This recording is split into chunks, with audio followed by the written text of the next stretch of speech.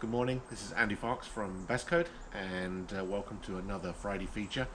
Uh, today on the BestCode, we're going to be talking about the uh, PM, uh, Preventative Maintenance Filter Change. So on a lot, all actually, of the CIJ printers, um, the preventative maintenance or filter change uh, has to be done. Um, the life of the printer and the print quality is dependent on the quality of the ink. So um, a lot of printers uh, have 12 months for PMs, a couple of them have 18 months, depending on the usage. So I want to talk to you today about the PM change on the BestCode Series 8 printer. Um, one tool needed, very quick to do. Our PM filters last for 12 months. We have three available. We have a 10,000 hour for uh, people that are doing three shifts. We have a 5,000 hour for two shifts and a 2,000 hour for one shift. Uh, all filters are 12 months expiration though. So if we look inside a printer, very simple to get out the back. Just lift out the back cover plate, uh, pop that to one side. And then in the back of the printer, you've got great access to this uh, this is the 10,000 hour uh, filter, main filter. So we have three parts that need changing every 12 months. It's the main filter.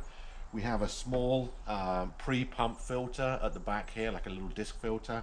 And then obviously your air filter for the uh, clean air intake. Um, the filter kits come in boxes like this. And inside, uh, this one is the uh, 5000 hour so inside the kit comes two clean air filters that go in the front. I'll show you how to put those in a little bit. We have the main filter. Comes in like this. So as you can see the difference, that's a 10,000, this is a 5,000, and we have a 2,000 smaller. Um, it has a direction on it with a little arrow pointing up. So we are going from bottom to top. So that's one part. And then also in the kit we have, as explained, the little uh, pre-pump filter, which is this, and this goes right at the back there. Um, 5 8 wrench will get all of these fittings out uh, very easily. So that's the kit available. Um, you can pre-order those in there's no no life expectancy on these. There's no ink in them or anything like that. So you can pre-order these kits in, have them on hand for when your PM is ready to be done, and it will tell you on the screen when it's ready to be done. So um, beaker, 5 8 wrench, the whole filter is held on with a Velcro strap. Makes it nice and easy to bring out. You undo the top pour that into the beaker. You undo the bottom, sit that in the beaker, dispose of it when it's drained. Um, get the new one, tighten those connections back up, put it back into the, um, the housing here. Uh, in the housing there is a, an RFID tag that will read uh, that filter and start the life of the uh, filter in the printer.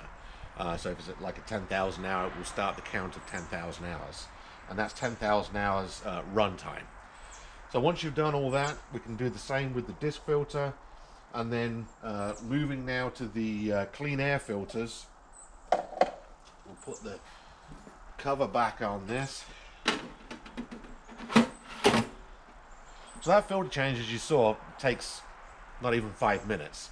Um, you can do it yourself. There's no need to call service techs in or anything like that. Very, very easy to do. If we turn the printer around,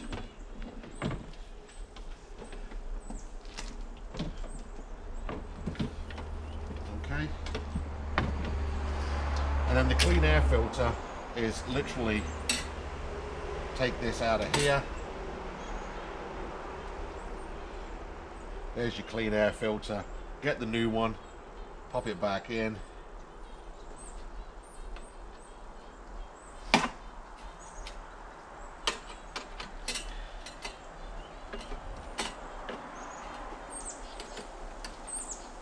and that's your clean air filter change. Again, took me probably 30 seconds to a minute to do that. Um, that's your PM. That's every 12 months. Very easy to do. No more service costs. You don't need to change the core or the pump or the and drain all the fluid off or anything like that. Um, this is the as easy as you get. Hope you found that informative. Uh, again, Feature Friday with BestCode Andy Fox. Wishing you a happy weekend and hopefully not as much snow and ice as we've seen everywhere this week. But uh, be safe and we'll we'll see you next week.